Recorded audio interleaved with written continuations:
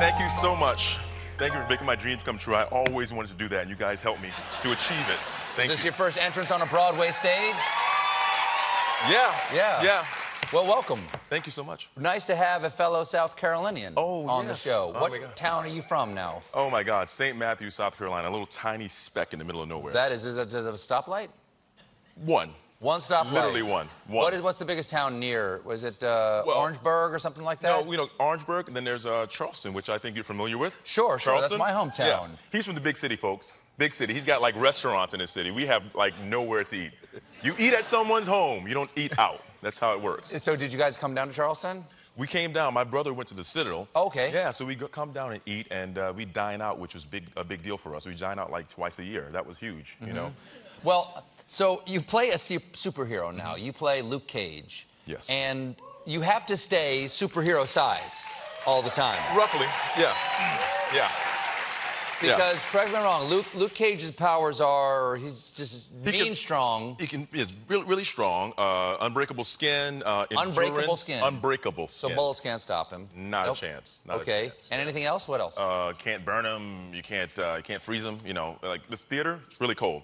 He can take his clothes off, no problem. No problem in here. No problem. Don't let it stop you. Now, Well, well, well. so uh, now you, I, I shook your hand and gave you a slap on the back as you came by, and it's like slapping a brick wall. You, do, were you always this big? Did you play sports? You Play football? well, you know what? No, I was a nice model size before I got this role. I was a nice uh, lean, lean fellow. Um, I put on about 35 pounds for the role.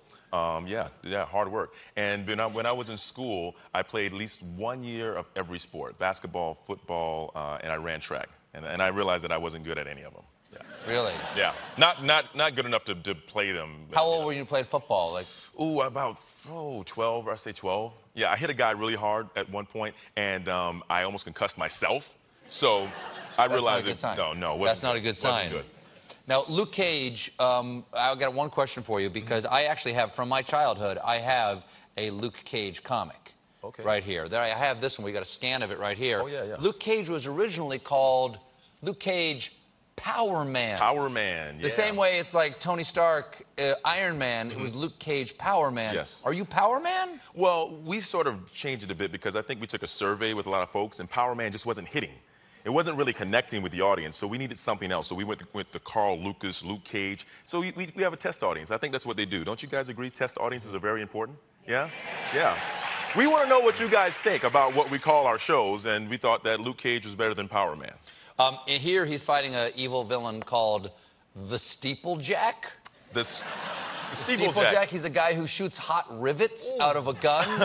I actually have the dialogue here. If you wouldn't mind acting out with me, I'll be Steeplejack if you could be Luke Cage. So I think that's your line right there. All right. Ready?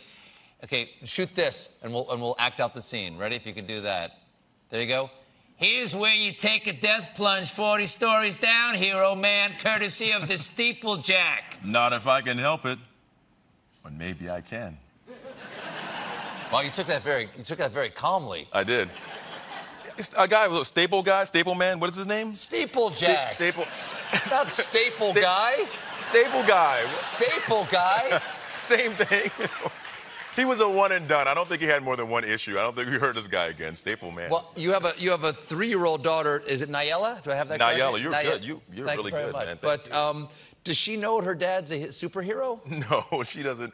I'm I'm her little gopher, is what I am. I mean, honestly, she's like six years old mentally. She gets up and she takes me. When we go to the car, she gives me the checklist. She's like, Dad, you know, uh, did you have my, my, my water bottle? Do you have my snacks, my crackers? Buckle me up, Dad. I mean, she tells me everything. Your three-year-old's doing this. My three-year-old, she tells you me are everything. in big trouble. I'm in trouble. I am in huge She's trouble. bossing you around at age three. Already. The other day she told me, she says, Dad, that's, that's not very respectable what you're saying to me. She said that. She says, Wait, what "It's did you say? What did you say to her? I, she had me because it wasn't. I, I, I she had What me. What did you say? I, I just raised my voice. She said, she said, Dad, that's not how you talk to me or something like that. And I'm going, um, well, technically speaking, you're right, but because I'm your father, I should be able to just say whatever. I, she caught me. I didn't know what Wow, to say. She had me. I was completely argument. stumped. I was because stumped. I said so. Because I said so. It worked on me. That's what you used to use back in the 80s. Because I said so. You didn't know Are you are you a things. younger brother, older brother? I'm the baby. You're the baby of. A four. Four, okay. Yeah, yeah, So four. you got, must have gotten away with a lot. Oh, my mom was so tired by the time I came along. So tired. The top three just wore her three down? wore out. I was the mistake. I came along, she was 36, and it was like a whoops thing, right?